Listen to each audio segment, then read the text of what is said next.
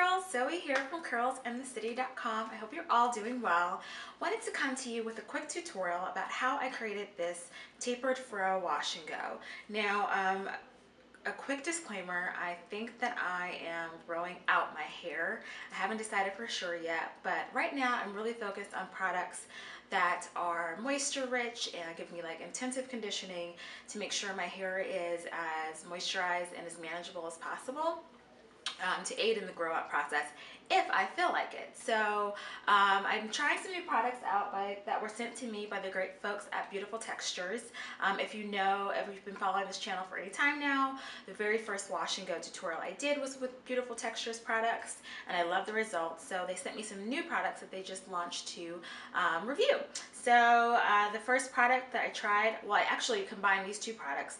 It's the uh, Moisture Rich Whipped Curl Cream and the Curl Definer Mousse. And both of these products together did uh, a really great job on my wash and go, as you can see. Um, and I just really loved how they're both about um, helping me get soft and defined curls, but also about, you know, really um, uh, nourished and conditioned and uh, you know, moisturized hair. So take a look at the tutorial and um, if you like it, hope these products work for you. Talk to you soon.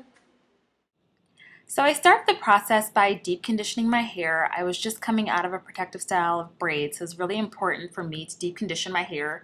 And I use the Beautiful Textures Rapid Repair Deep Conditioner and sat under the dryer for about 15 minutes. So after I got out of the shower, finished rinsing out the conditioner, I took the Curl Definer Mousse and I paired it with the Moisture Butter Whipped Curl Cream. And I take a little bit of the whipped curl cream, about a dime size amount, and then I do two pumps of the Curl Definer Mousse for the sides and the back of my hair where my hair is short. I rub my hands together and I'm just to start raking it through my hair. I really liked how these two products work together as a cocktail. I typically wouldn't think to pair a uh, mousse with a butter cream of sort, but they worked really well together as I'm focusing on possibly growing out my hair. I want to make sure my hair is healthy and as nourished as possible. And the moisture butter really made sure I had the hydration and the moisture that I needed. And then the curl definer mousse did exactly what it said and it helped define my curls. So I'm really enjoying these two together as a cocktail and um, together the, my hair still feels soft and it doesn't feel hard but it feels moisturized and nourished. So I'm really loving that. So I'm just going to continue this process all around the sides and the back of my hair. And then as I get to the front of my hair I'm going to repeat the same process but with just a little bit more product. I'm going to take about a quarter size of the moisture butter and I'm going to do three pumps of the curl definer mousse because my hair is a little longer so I want to make sure I'm coating all the strands. Same process, rubbing my hands together to mix the product together um, and then just raking the product through my hair, making sure all the strands are covered. Uh, the raking really helps to define my curls. Uh, if I didn't rake, I, the more that I rake, I find the more that I get the, def the, the, def the definition that I'm looking for. So I just continue that all over the front of my hair.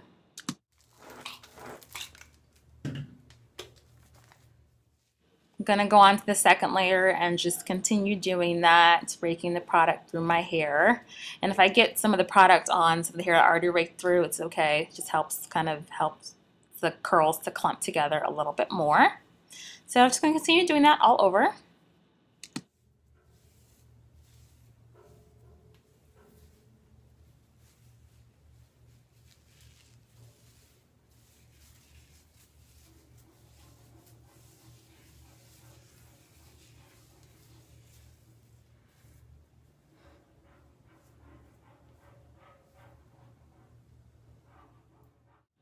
And then after I finish putting all the product in, I'm going to just shake my hair to help the curls clump a little bit more. I shake a lot more than that. That's just an example. And um, just making sure I have full coverage on the product before I start the diffusing process.